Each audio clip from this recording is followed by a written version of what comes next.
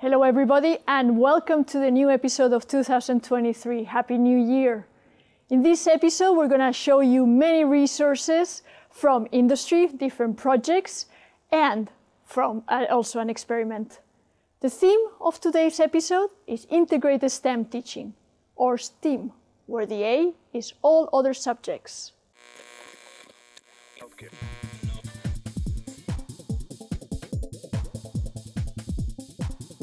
To explain more, we have Maria Podlasek Ziegler, who is a policy officer at the European Commission at the General Directorate for Education and Culture. Welcome, Maria. What's your role at the European Commission? First of all, thank you. I'm happy to be here. Yes, I work in the Directorate General for Education and Culture, and more exactly in the school policy unit, and I'm in charge of STEM education. The General Directorate for Education and Culture has been supporting integrated STEM teaching through three initiatives. The Choice Project created teaching materials that in were included in a MOOC so teachers can work with other teachers on bringing all these subjects together.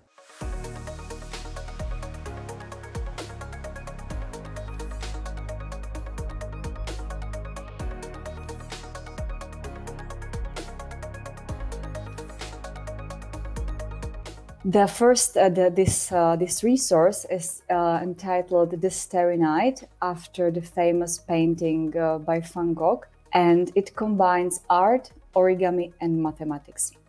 By using origami to explain mathematics and bring it to life by linking it to art and creative activity.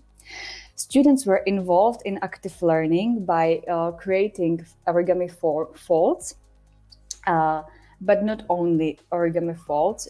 The teachers before explained uh, how the geometry we use usually differs from origami geometry, the difference between Euclidean geometry normally used and origami geometry.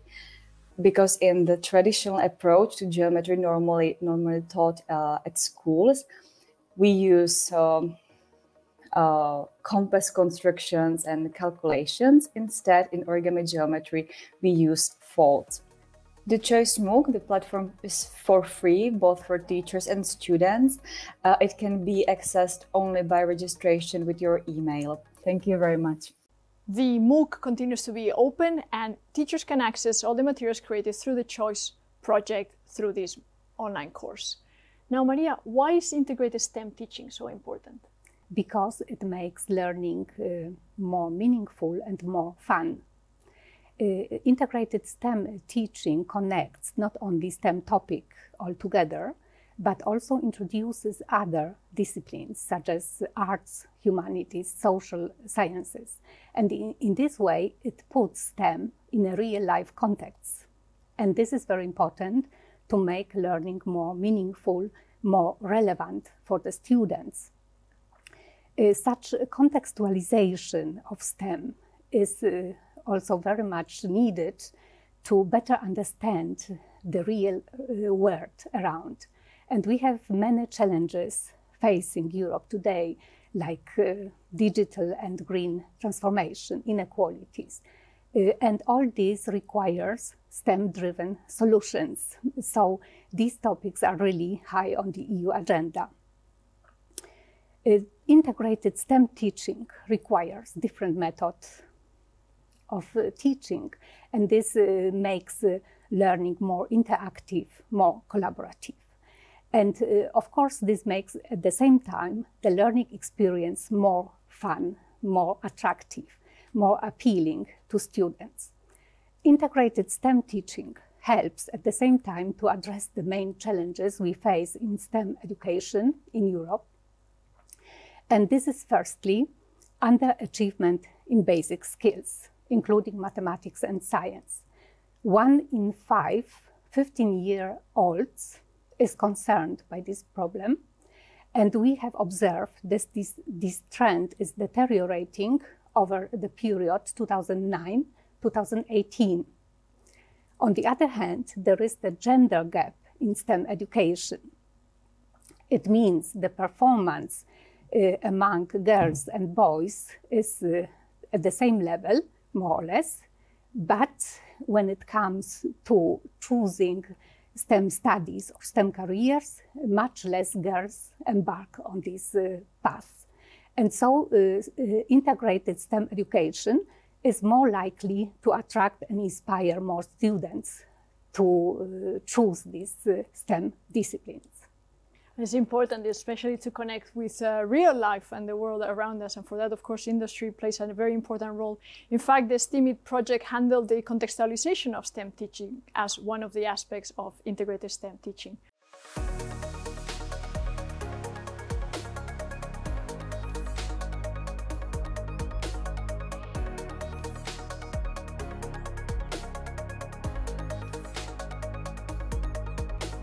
One of the resources sets STEAMIT apart are the guidelines to overcome barriers to integration. Indeed, teachers have told us that it's difficult to navigate the curriculum and to integrate all the STEM subjects in their activity, and that it can be challenging to coordinate working with their colleagues to gain support of their school administration or to find time to STEM integration with their school schedule.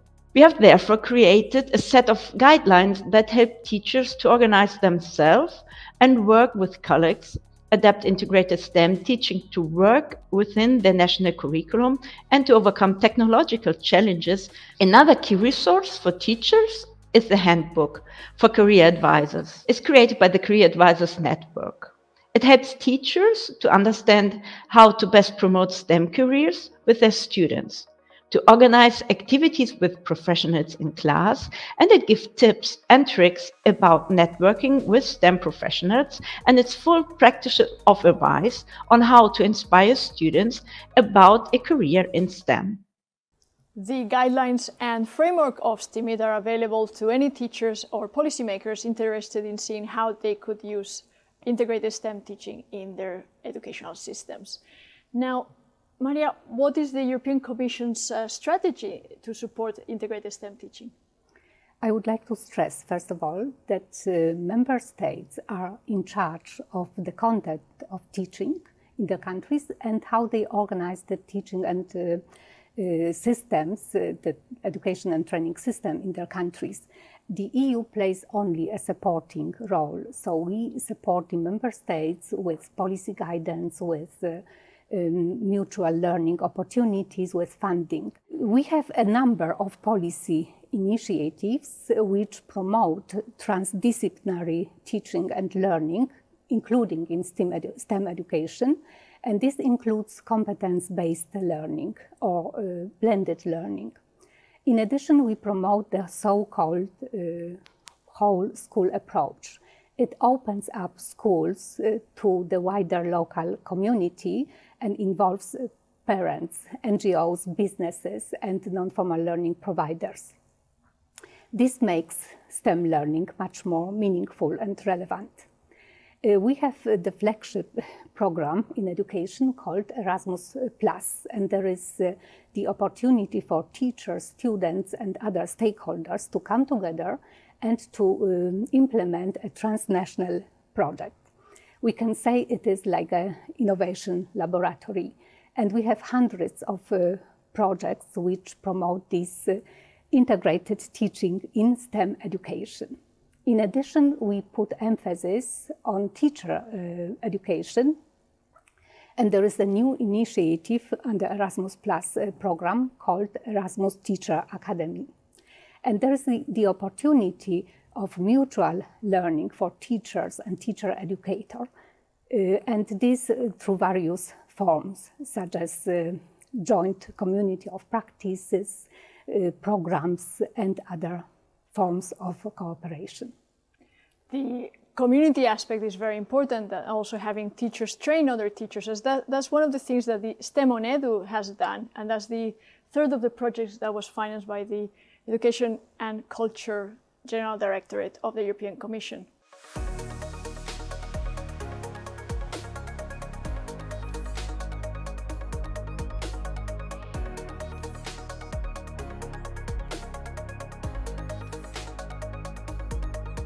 The massive open online course Design, Orchestration and Implementation of STEAM Education is addressed to all individuals who are interested in applying or finding out about STEAM education, for example, in-service or pre-service educators, managers or directors at all levels of formal and non-formal education.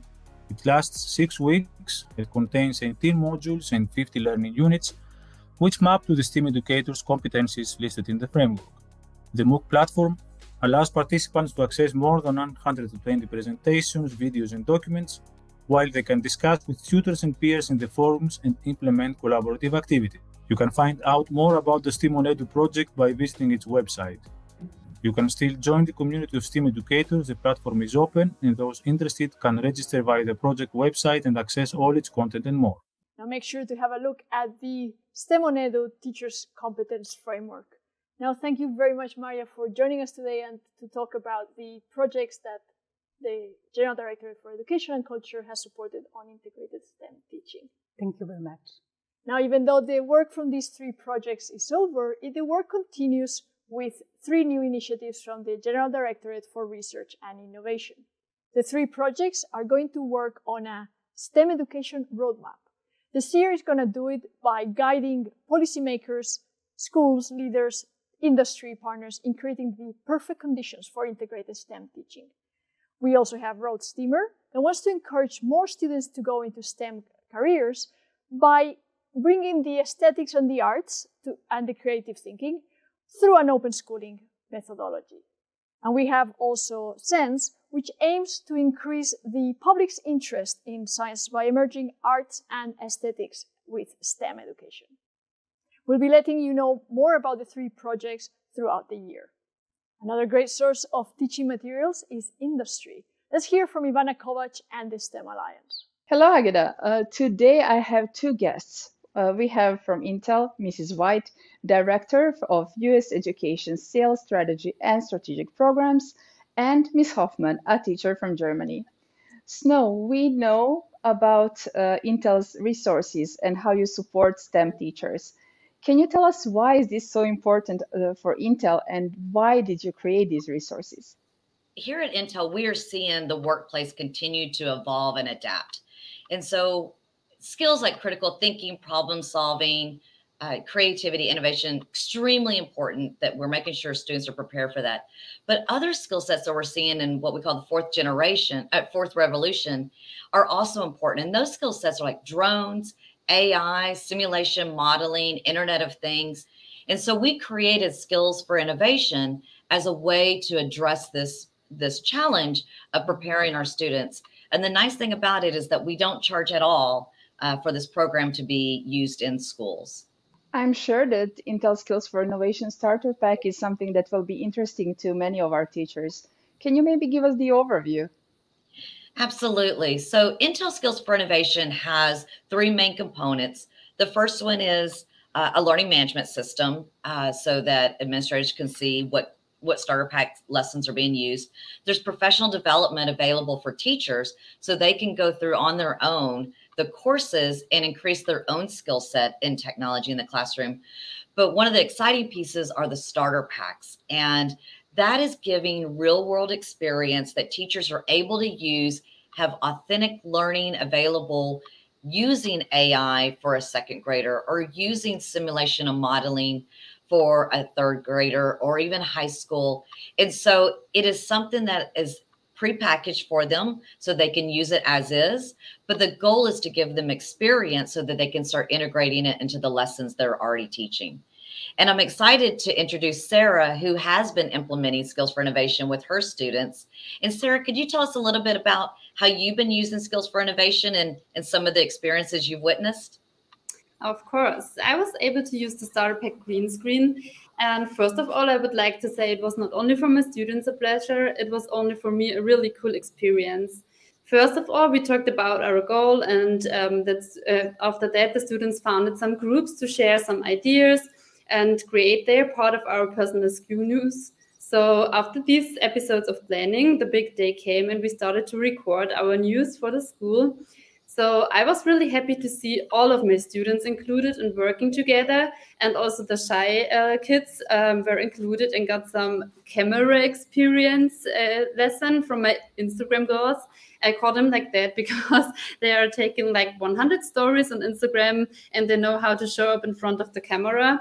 So I was uh, at the end really happy, and all of my students were happy uh, that everyone is involved and had a lots of fun. And um, I think they learned about writing a script, teamwork, presenting results, um, using the digital equipment. And I was really happy that they are speaking full German sentences because they want a professional appearance in front of the camera. So this is a big win for me and for my students too. And are there uh, any recommendations that you would provide if another teacher was going to implement Skills for Innovation? Yes, um, don't be afraid to try, uh, try some new ways of teaching. The students help you if you are not sure how to use the single parts of the equipment. It's uh, easy at all, but your students can help you. They are the native um, people who are using um, cameras and something like that. So um, the um, starter pack is uh, really uh, comfortable for all of the students. And um, also another tip from my side is uh, use the starter pack also in difficult groups because um, it's really cool to see all people working and um, all of the students are included. Um, you will really love um, that you can see uh, that you can catch up all of the students. Um, yeah, and I think uh, one important thing too is to let things flow. The kids will find some really cool ideas. You don't have to do everything in um, at the beginning, so they will find some new ideas. So um, yeah, that's important too. And uh, the last one is um, show your results with your class because it's a really um, good motivation for other students to try some new things and also for your colleagues to try the new uh, experience packages. Snow, Sarah, thank you very much for being with us today. And thanks a lot for sharing all the tips and all the good recommendations for your colleagues and our teachers. Thanks a lot. Back to you, Agata. Thank you, Ivana, Snow, and Sarah. Now, for anybody interested in using the Skills for Innovation resources, there will be a webinar on this very topic on the 8th of February. Now, we're moving on to the experiment section, and we have Michael back on how to incorporate art in STEM teaching. Michael, how are you doing today? Well, I'm great. It's great to be back on Scientix TV. Thanks for having me again. So show us, what are you doing today? Excellent. So I'm going to show uh, colored fluorescence. So to show what materials I have here, I have a bunch of drawings that have been made with these simple fluorescent markers. And I'm going to be using a light that can change color. So you may recognize this one from last time when I was showing some of Jose Benito's experiments from the Scientix conference. And I'm just going to turn off the background lights, and we're going to look at these drawings first under red light. And we'll notice a number of the colors are gone from these pictures. And that's because fluorescent highlighters fluoresce. And as we look at other colors, we can kind of see what that means. And fluorescence is the re-emission of light at a lower energy than the incident light. So if we look at under red light, we see none of the colors are fluorescing. We see some of the darker colors like blue have a pigment which is absorbing the red light. And that's because blue has a higher energy than red. So blue can only absorb the red light, but it can't fluoresce. If we contrast and we go all the way over to blue light, we can see all of the colors that I've used are fluorescing here because blue is the most energetic color. So it has enough energy for orange to fluoresce, for yellow to fluoresce. The green is fluorescing as well, but it's actually got the same phosphor as the yellow, so they appear the same under the blue highlighter. The green can get some of the colors to fluoresce, mainly the orange, and the pink where we can see it's actually an orange phosphor fluorescing. And then if we go back to white, we can see all of the colors together again. So you can see these various pieces of artwork I've picked up on my travels while showing this experiment in a number of different places. This flower was made for me in Mexico by a student there. I think this rainbow might have been in Slovakia. Um, but we see all of this beautiful artwork that students have made uh, while seeing this experiment. That's very interesting. And if anybody else wants to know more about the experience that Michael uh, carries out, don't miss, don't, uh, you shouldn't miss the Scientix webinar taking place on the 15th of February, Experiments World Tour. Thank you very much, Michael, and see you next time. Thank you. Michael's webinar is part of the 2023 STEM Discovery campaign, which is starting on the 1st of February and will run until the end of April. The theme is STEM identities, and we invite anybody working on STEM education, teacher organizations, projects to share their actions to promote STEM in the STEM Discovery campaign map. We will be selecting some of the activities submitted during February in our next Scientix episode. If your activity is selected, we'll be sending you also an Infinity notebook. Who else is getting an Infinity notebook? Two commenters from the last Scientix TV episode. Thank you for all your comments through the social media channels and uh, through our Scientix TV episodes. Now, we also have all the Scientix TV episodes in one place now, which is on the Scientix portal, so check them out. And make sure to tune in for more resources and activities that you can use in your class with your students. Thank you, and see you next time.